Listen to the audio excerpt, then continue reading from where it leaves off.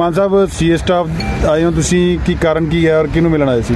ਅਸੀਂ ਸਰਦਾਰ ਕੁਲਵੰਤ ਸਿੰਘ ਨੂੰ ਮਿਲਣ ਆਏ ਸੀਗੇ, ਜਿਨ੍ਹਾਂ ਨੂੰ ਇਹ ਪੇਰੋਲ ਮਿਲੀ ਹੈ ਤੇ ਜਿਹੜੇ ਆਪਣੇ ਅਫਸੋਸ ਕਰਨ ਤੇ ਆਏ ਹੈ, ਉਹਨਾਂ ਦੇ ਇਹ ਰਿਸ਼ਤੇਦਾਰ ਪੂਰੇ ਹੋਏ ਹੈ ਤੇ ਸਾਡਾ ਫਰਜ਼ ਬਣਦਾ ਸੀਗਾ ਕਿ ਉਹਨਾਂ ਨੂੰ ਮਿਲੀਏ ਕਿਉਂ ਕਰਕੇ ਅਸੀਂ ਡੀਸੀ ਅੰਮ੍ਰਿਤਸਰ ਨੂੰ ਵੀ ਦਰਖਾਸਤ ਦਿੱਤੀ ਸੀਗੀ ਕਿ ਡਿਬਰੂਗੜ੍ਹ ਅਸੀਂ ਜਾਣਾ ਚਾਹੁੰਦੇ ਹਾਂ, ਜਿੱਥੇ ਤੁਸੀਂ ਉਹਨਾਂ ਨੂੰ ਡਿਟੇਨ ਕੀਤਾ ਹੈ।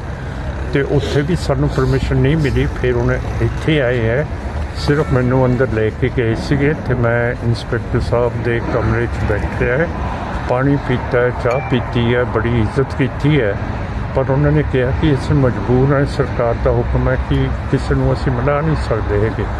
ਸੋ ਮੇਰਾ ਮਤਲਬ ਕਦਾ ਦੀ ਮਜਬੂਰੀ ਹੈਗੀ ਹੈ ਕਿ ਇੱਕ ਐਮਪੀ ਆਪਣੇ ਸਿੱਖਾਂ ਨੂੰ ਮਿਲ ਨਹੀਂ ਸਕਦਾ। ਜੇ ਮੈਂ ਦਿੱਲੀ ਜਾਂਦਾ ਹੈ, ਬਤੌਰ ਐਮਪੀ ਮੈਂ ਲੈਫਟੀਨੈਂਟ ਗਵਰਨਰ ਦਿੱਲੀ ਨੂੰ ਪੁੱਛਦਾ ਕਿ ਮੈਂ ਤਿਹਾਰ ਜੇਲ੍ਹ 'ਚ ਸਾਡੇ ਅਕਾਲ ਤਖਤ ਦੇ ਜਥੇਦਾਰ ਅਬਾੜਾ ਸਾਹਿਬ ਨੂੰ ਮਿਲਣਾ ਚਾਹੁੰਦਾ ਕਸ਼ਮੀਰ ਦੇ ਜਿਹੜੇ ਲੀਡਰ ਹੈਗੇ ਹੈ ਸ਼ਬੀਰ ਸ਼ਾਹ ਤੇ ਮਲਕ ਸਾਹਿਬ ਉਹਨਾਂ ਨੂੰ ਮਿਲਣਾ ਚਾਹੁੰਦਾ ਹਾਂ। ਉੱਥੇ ਵੀ ਮਿਲਣ ਦਿੰਦੇ।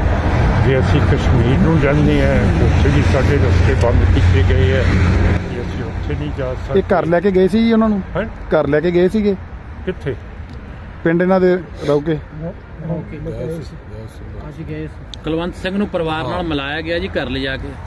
ਆਪਣੇ ਮੈਂ- ਕਸਟਡੀ ਦੇ ਮੈਨੂੰ ਜਦੋਂ ਮਿਲ ਨਹੀਂ ਦਿੱਤਾ ਹੁਣ ਮੈਂ ਕਿਹਾ ਤਾਂ ਜਵਾਬ ਦਵਾਂ ਇਹ ਤਾਂ ਤੁਹਾਨੂੰ ਜ਼ਿਆਦਾ ਪਤਾ ਹੋਊਗਾ। ਨਹੀਂ ਤੁਸੀਂ ਪਰਿਵਾਰ ਨਾਲ ਗੱਲ ਹੋਈ ਹੈ ਵੀ ਘਰੇ ਗਏ ਸੀਗੇ ਉਹਨਾਂ ਦੇ ਕਿਉਂਕਿ ਪੈਰੋਲ ਮਿਲੀ ਹੈ ਇਹਨਾਂ ਦੀ ਕਸਟਡੀ 'ਚ ਹੀ ਹੈ ਜਾਂ ਘਰ ਵੀ ਗਏ ਸੀਗੇ? ਮੈਨੂੰ ਮੇਰੇ ਨਾਲ ਜਦੋਂ ਗੱਲ ਹੀ ਨਹੀਂ ਕਰਦੇ ਜੀ ਹੁਣ ਮੈਂ ਤੁਹਾਡੇ ਨਾਲ ਕੀ ਗੱਲ ਕਰਾਂ? ਪਰਿਵਾਰ ਨਾਲ ਗੱਲ ਹੋਈ ਤੁਹਾਡੀ?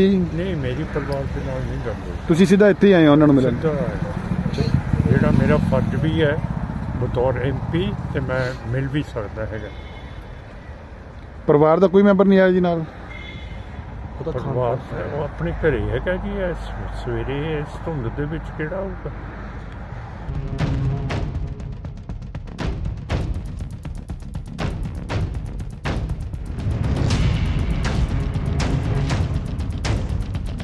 ਮਾਨ ਸਾਹਿਬ ਸੀਏ ਸਟਾਫ ਆਏ ਹੋ ਤੁਸੀਂ, ਕੀ ਕਾਰਨ ਕੀ ਹੈ ਔਰ ਕਿਹਨੂੰ ਮਿਲਣ ਆਏ ਸੀ?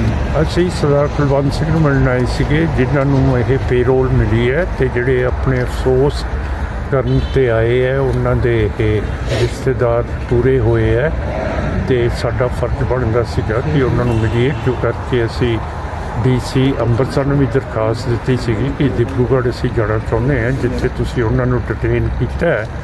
ਤੇ ਉੱਥੇ ਵੀ ਸਾਨੂੰ ਪਰਮਿਸ਼ਨ ਨਹੀਂ ਮਿਲੀ। ਫਿਰ ਉਹਨੇ ਇੱਥੇ ਆਏ ਹੈ। ਸਿਰਫ ਮੈਨੂੰ ਅੰਦਰ ਲੈ ਕੇ ਗਏ ਸੀਗੇ ਤੇ ਮੈਂ ਇੰਸਪੈਕਟਰ ਸਾਹਿਬ ਦੇ ਕਮਰੇ 'ਚ ਬੈਠਿਆ ਹੈ। ਪਾਣੀ ਪੀਤਾ ਹੈ, ਚਾਹ ਪੀਤੀ ਹੈ, ਬੜੀ ਇੱਜ਼ਤ ਕੀਤੀ ਹੈ। ਪਰ ਉਹਨਾਂ ਨੇ ਕਿਹਾ ਕਿ ਅਸੀਂ ਮਜਬੂਰ ਹਾਂ, ਸਰਕਾਰ ਦਾ ਹੁਕਮ ਹੈ ਕਿ ਕਿਸੇ ਨੂੰ ਅਸੀਂ ਮਨਾ ਨਹੀਂ ਸਕਦੇ ਹੈਗੇ। ਸੋ ਮੇਰਾ ਮਤਲਬ ਕਦਾ ਮਜਬੂਰੀ ਹੈਗੀ ਹੈ ਕਿ ਇੱਕ ਐਮਪੀ ਆਪਣੇ ਸਿੱਖਾਂ ਨੂੰ ਮਿਲ ਨਹੀਂ ਸਕਦਾ ਜੇ ਮੈਂ ਦਿੱਲੀ ਜਾਂਦਾ ਹੈ, ਬਤੌਰ ਐਮਪੀ ਮੈਂ ਲੈਫਟੀਨੈਂਟ ਗਵਰਨਰ ਦਿੱਲੀ ਨੂੰ ਪੁੱਛਦਾ ਕਿ ਮੈਂ ਤਿਹਾਰ ਦੇ ਸਾਡੇ ਅਕਾਲ ਤਖਤ ਦੇ ਜਥੇਦਾਰ ਹਵਾੜਾ ਸਾਹਿਬ ਨੂੰ ਮਿਲਣਾ ਚਾਹੁੰਦਾ ਕਸ਼ਮੀਰ ਦੇ ਜਿਹੜੇ ਲੀਡਰ ਹੈਗੇ ਹੈ ਸ਼ਬੀਰ ਸ਼ਾਹ ਤੇ ਮਲਕ ਸਾਹਿਬ ਉਹਨਾਂ ਨੂੰ ਮਿਲਣਾ ਚਾਹੁੰਦਾ ਹਾਂ। ਉੱਥੇ ਵੀ ਮਿਲਣ ਦਿੰਦੇ ਜੇ ਅਸੀਂ ਕਸ਼ਮੀਰ ਨੂੰ ਜਾਂਦੇ ਹਾਂ ਉੱਥੇ ਵੀ ਸਾਡੇ ਰਸਤੇ ਬੰਦ ਕੀਤੇ ਗਏ ਹੈ ਉੱਥੇ ਨਹੀਂ ਜਾ ਸਕਦੇ। ਇਹ ਘਰ ਲੈ ਕੇ ਗਏ ਸੀ ਜੀ ਉਹਨਾਂ ਨੂੰ? ਹੈਂ? ਘਰ ਲੈ ਕੇ ਗਏ ਸੀਗੇ? ਕਿੱਥੇ? ਪਿੰਡ ਇਹਨਾਂ ਦੇ ਰੌਕੇ ਅਸੀਂ ਗਏ ਸੀ। ਕੁਲਵੰਤ ਸਿੰਘ ਨੂੰ ਪਰਿਵਾਰ ਨਾਲ ਮਿਲਾਇਆ ਗਿਆ ਜੀ ਘਰ ਲਿਜਾ ਕੇ। ਆਪਣੇ ਮੈਂ- ਕਸਟਡੀ ਦੇ। ਮੈਨੂੰ ਜਦੋਂ ਮਿਲ ਨਹੀਂ ਦਿੱਤਾ ਹੁਣ ਮੈਂ ਕਿਹਾ ਤਾਂ ਜਵਾਬ ਦਵਾਂ ਇਹ ਤਾਂ ਤੁਹਾਨੂੰ ਜ਼ਿਆਦਾ ਪਤਾ ਹੋਊਗਾ। ਨਹੀਂ ਤੁਸੀਂ ਪਰਿਵਾਰ ਨਾਲ ਗੱਲ ਹੋਈ ਹੈ ਵੀ ਘਰੇ ਗਏ ਸੀਗੇ ਉਹਨਾਂ ਦੇ ਕਿਉਂਕਿ ਪੈਰੋਲ ਮਿਲੀ ਹੈ ਇਹਨਾਂ ਦੀ ਕਸਟਡੀ 'ਚ ਹੀ ਹੈ ਜਾਂ ਘਰ ਵੀ ਗਏ ਸੀਗੇ? ਮੈਨੂੰ ਮੇਰੇ ਨਾਲ ਜਦੋਂ ਗੱਲ ਹੀ ਨਹੀਂ ਕਰਦੇ ਜੀ ਹੁਣ ਮੈਂ ਤੁਹਾਡੇ ਨਾਲ ਕੀ ਗੱਲ ਕਰਾਂ? ਪਰਿਵਾਰ ਨਾਲ ਗੱਲ ਹੋਈ ਤੁਹਾਡੀ? ਨਹੀਂ ਮੇਰੀ ਪਰਿਵਾਰ ਦੇ ਨਾਲ ਨਹੀਂ ਗੱਲ ਹੋਈ। ਤੁਸੀਂ ਸਿੱਧਾ ਇੱਥੇ ਹੀ ਆਏ ਹੋ ਉਹਨਾਂ ਨੂੰ ਮਿਲਣ? ਸਿੱਧਾ ਜਿਹੜਾ ਮੇਰਾ ਫਰਜ਼ ਵੀ ਹੈ ਬਤੌਰ ਐਮਪੀ ਤੇ ਮੈਂ ਮਿਲ ਵੀ ਸਕਦਾ ਹੈਗਾ। ਪਰਿਵਾਰ ਦਾ ਕੋਈ ਮੈਂਬਰ ਨਹੀਂ ਆਇਆ ਜੀ ਨਾਲ? ਪਰਿਵਾਰ ਉਹ ਆਪਣੇ ਘਰੇ ਹੈਗਾ ਜੀ ਇਸ ਸਵੇਰੇ ਇਸ ਧੁੰਦ ਦੇ ਵਿੱਚ ਕਿਹੜਾ ਆਊਗਾ?